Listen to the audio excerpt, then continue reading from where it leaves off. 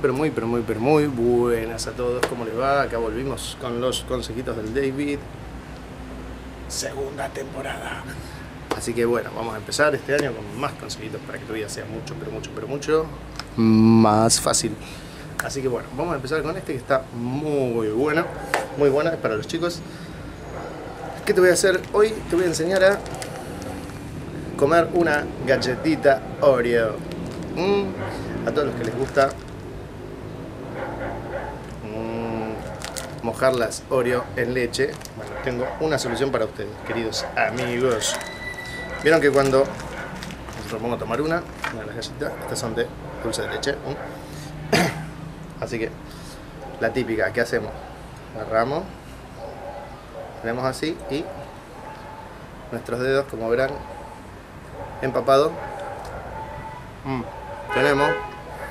Primer bocado, todo bien. Ahora, el segundo. Tenemos así. Seguimos mojándonos los dedos, como pueden ver. Pero bueno, es lo que voy a enseñarles hoy. A evitar que los dedos se nos sigan mojando con la leche cuando sopamos las galletitas en la leche. No sirve solamente para las Oreos, sirve para todas. Sirve para las melvas, para toda galletita rellena que nos guste sopar en la leche. Así que, ¿qué vamos a necesitar? Simple. El vaso de leche, obviamente, porque te vamos a mojarla si no. En jugo no, ni en coca tampoco. Las galletitas rellenas, en este caso Oreo, pero puede ser cualquier otra marca. Y aquí viene lo mágico. Le voy a dar lugar para que entre. Sí, nuestro amigo el tenedor. ¿Qué vamos a hacer? Es simple. Es una pavada. Vamos a pinchar el tenedor en el relleno. Y simplemente lo que hacemos es esto. Hundimos toda la galletita. Nuestros dedos van a quedar a salvo de no mojarnos. Mmm no contaminamos, no, eh, y no contaminamos la leche con nuestros dedos.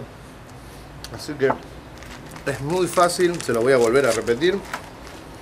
Así lo ven, tomamos la galletita rellena, clavamos el tenedor en el medio, en la parte del relleno, así, como pueden ver. Mojamos la galletita para que vean que está la galletita dentro. Fíjense que podemos dejarlo un ratito para que se ablande y todo y no se nos va a caer, ¿no? Va a seguir ahí. Simple, fácil, rico, sobre todas las cosas. Y no te olvides que todos estos consejitos son para que tu vida sea mucho, pero mucho, pero mucho más fácil. Foco. Nos vemos en la próxima. Chao.